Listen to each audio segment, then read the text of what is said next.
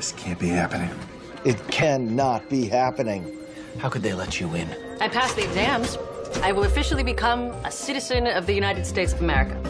I've never been more disappointed in my government. Hey, that is my government now. Not till Friday. I expect to see you there and you too, McGee. Ziva, of course I'm going to be there.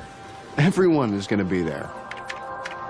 Even uh, Gibbs, I bet, once he comes back from his. Let's call it a vacation. It is not that the first time he has run off on his own. Hey, not the first time he's run off to Mexico. Certainly not the first time he's gone without telling us anything. Nope, nothing new to see here. Not a poker player among you. Terrible, terrible bluffs. We're all used to how Gibbs operates, for better or for worse. Let's just stay focused on what we're good at without him. What would that be, Director? If you don't know Agent DiNozzo, I'm not going to tell you.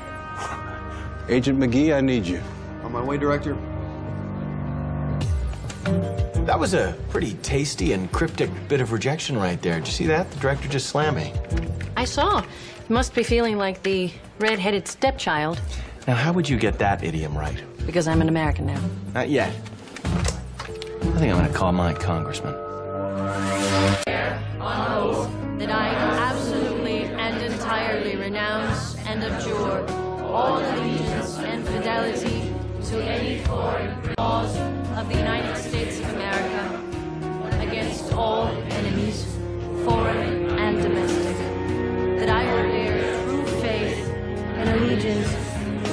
That I will bear arms on behalf of the United States when required by the law.